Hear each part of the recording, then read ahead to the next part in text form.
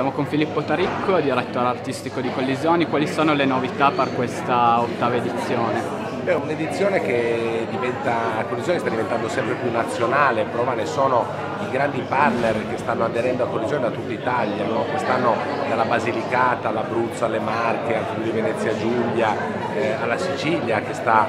aderendo proprio in questi, in questi, giorni, quindi una, una, una, manifestazione che sta sempre più diventando, anche grazie all'interesse crescente di altri territori che vorrebbero ricreare una formula collisione nelle loro regioni, una grande opportunità anche per i nostri prodotti piemontesi, perché attraverso questi gemellaggi e anche attraverso il brand di collisioni cominciamo a farci conoscere un po' in tutta Italia. Dal punto di vista del programma credo un'edizione storica eh, con la partecipazione oltre che di Elton John, dei Modà, dei Negromaro eh, e,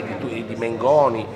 di tutti i grandi artisti che saranno con noi, da Luciano Ligabue a Claudio Baglione, a Samuele Bersani, a Emma, quindi davvero un'edizione difficile da raccontare in un'intervista per la ricchezza del cast che vi invito ad andare a conoscere su www.collisioni.it un'edizione che si chiama Strangers, quest'anno in onore di David Bowie, un 2016 che ha visto la dipartita di molti artisti, a quali Filippo Taricco è più affezionato. Beh, è stato... Per versi diversi a tutti, non potrei scegliere tra Prince e Bud Spencer perché hanno rappresentato eh, tutti e due dei momenti della nostra vita fondamentali, della nostra crescita, dei momenti diversi naturalmente. Eh, però tutti, ecco, è stato un anno sicuramente in cui l'arte ha perso moltissimo. E paradossalmente un anno in cui invece c'era un grande bisogno di artisti, un grande bisogno di apertura mentale, vediamo le atrocità che sono successe quest'anno, eh, dalle bombe eh, alle contestazioni, alla tragica eh,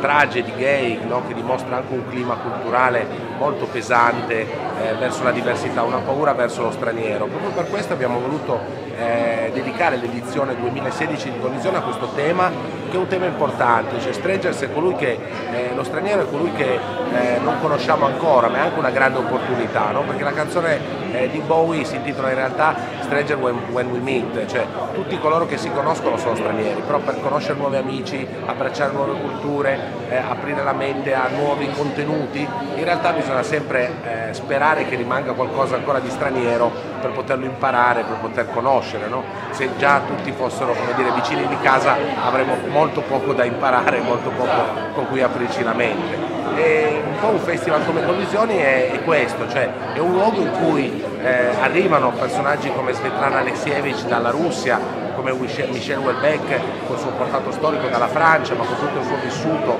anche con l'estremismo islamico, i problemi che ha avuto la sua amicizia con Charlie Hebdo, personaggi molto diversi tra loro che però si raccontano al pubblico e raccontandosi diventano un po' meno stranieri, si confrontano le esperienze in un festival culturale e confrontandosi in realtà capiamo anche le ragioni dell'altro. Io credo che un altro titolo poteva essere le ragioni dell'altro di collisione di quest'anno, cioè cercare di, prima di giudicare, prima di spaventarci, almeno imparare a conoscere. Io credo che leggere, ascoltare canzoni, andare a teatro, andare al cinema sia un grande antidoto per questo, per la paura istintiva che abbiamo verso l'altro, che molte volte in realtà è un condizionamento sociale. No? Quando scopriamo che in realtà dietro il velo di quella donna che vediamo in panetteria o dietro il trucco di quel gay che vediamo uscire da una discoteca c'è una persona che ha gli stessi nostri problemi, magari un po' diversi ma in realtà identici ai nostri, nei sentimenti, nelle aspettative di, di felicità e in tutto, e quando facciamo quello in realtà rompiamo dei muri e l'arte è un fondamentale antidoto verso la paura.